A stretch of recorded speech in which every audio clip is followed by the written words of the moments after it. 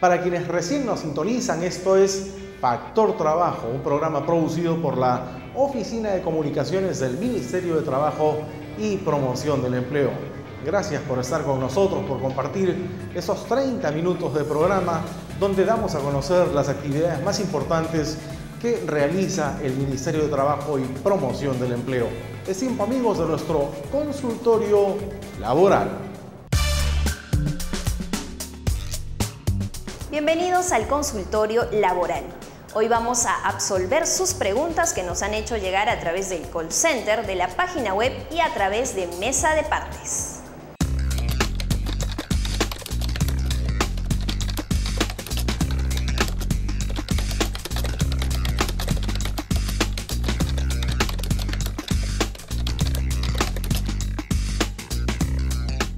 Claudia, según lo indicado por el artículo 10 del Decreto Legislativo 677, estarán obligadas a cumplir con la repartición de utilidades aquellas empresas que cuenten con más de 20 trabajadores, por lo que en tu caso no correspondería dicho pago.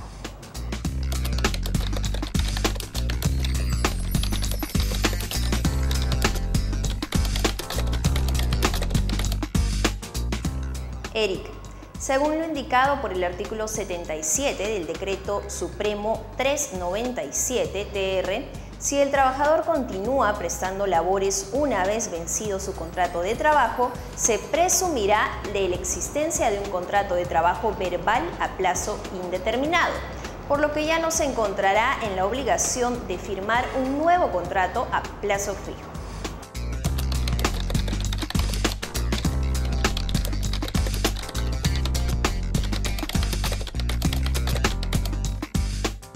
Hola Yulisa.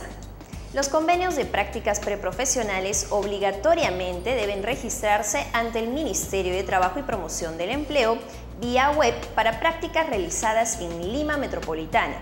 Esto según el Decreto Supremo 007-2005 TR, artículo 50.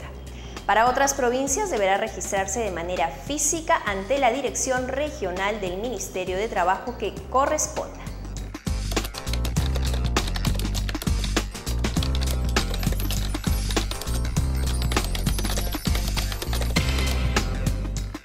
Hola Marco Antonio.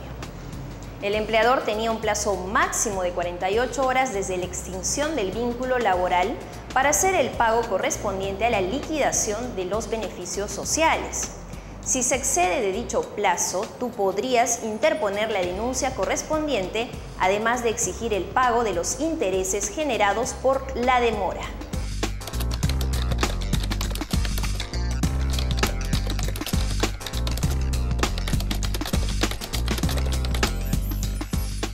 O la esperanza. Según lo indicado por la Ley 27321, el plazo rescriptorio para el cobro de beneficios sociales es de solo cuatro años, por lo que el plazo para exigirlos ya habría vencido en tu caso. Este ha sido el consultorio laboral. Muchas gracias por su atención y nos vemos la próxima semana. Chao.